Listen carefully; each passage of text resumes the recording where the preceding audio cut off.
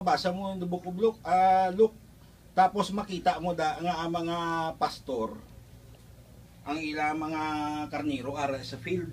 So hindi na sa December kay kung December magi sa Bethlehem subong for 2000 years even the meteorol mga ga-study sa weather, mga astronomers gahambal nga ang weather sa Bethlehem hardly changed though hindi kaya na bago. December 25 ang season sa Bethlehem is negative. Negative 1 to negative 3 something na. Pero it has to go down beyond zero. So ang namina matulog nawon.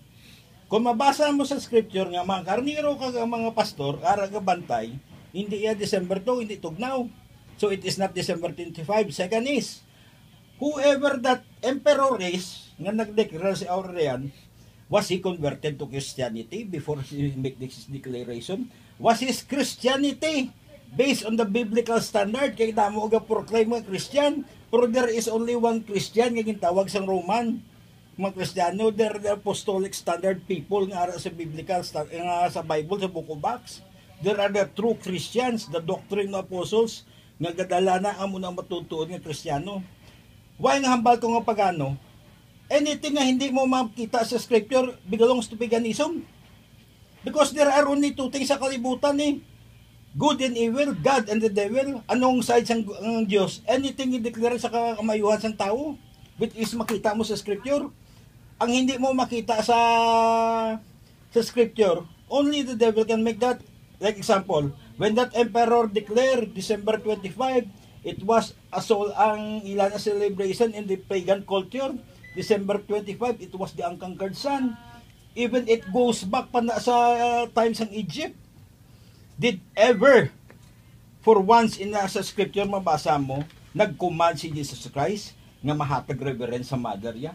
If Mary is so unique, nga blessed din siya nga gaamo sa isang reverence, nga sa on the, do- on the day of Pentecost nga naka-receive sa isang Holy Ghost. If she is unique, there is no need sang iya nga silyo. Sumbalaan ng Espiritu masuklob sa kanya. Second is, ang hambal ni ni Sir Intela, Last 3 minutes. ah 24 or 25, hindi sa certain. Because ang kalendar nato nagabaylo-baylo mo. Year 2012, yung baylo naman ang kalendar naton. Last few years ago, ang aton year may isa ka segundo nga nagdugang. So technically, ang iyang nga declaration day 25 is only a human creation. If ever an emperor declared that to be a doctrine sa church, ang question is, was he converted to true Christianity? Biblically nga pattern? Because damo pattern ng Christianismo mo. But there is only one true Christian pattern nga mabasa mo sa Book of Acts. Second is, ang emperor ba, anong uniqueness niya? Was his authority biblically absolute? Was his declaration in 25 can edify the church? Can make sa mga kanya, can make sang iya nga mga tao sanctified?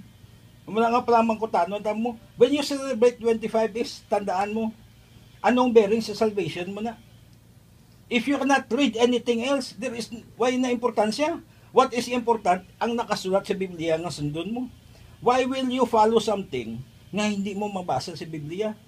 If an emperor declare that, na hindi ka gani certain ng Kristiyano sa, for the sake nga ang pagano, ginmix na sa Kristyanismo, para madula ang problema sa iya nga kaharian, certainly he do that to be a true Christian, mag-stand ka sa faith mo. Last 3 minutes.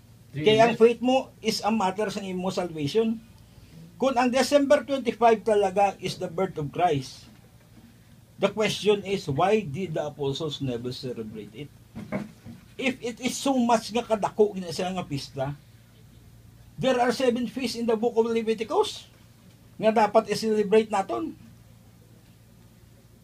Ano ang ano ang spiritual value sang 25 sang Christmas? Biblically, scripturally nga makasave sa soul mo. Last 1 minute na lang ulit. Even sa doctrine sang Catholic celebrating December 25 kan is the soul sa nag-declare na sa mga kalag sa purgatory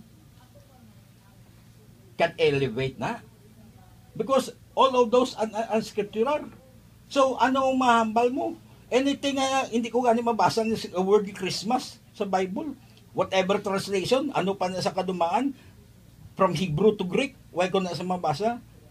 It was only declared by a certain emperor. The question was that emperor really converted to Christianity? Was he really baptized in the name of Jesus Christ according to the book of Acts? He did he ever receive the gift of the Holy Ghost? Last 30 seconds. Because amo na ang mga kategory, ang anointing sang declaration sang isa ka divine commandment napaka-importante.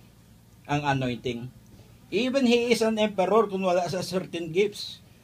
Ang iya na ang ability to declare sa foremost sang divine authority is in question. Now, kung higaan niya ka sa commandment nga wala sa divine authority, it is questionable to follow. Masunod maglako.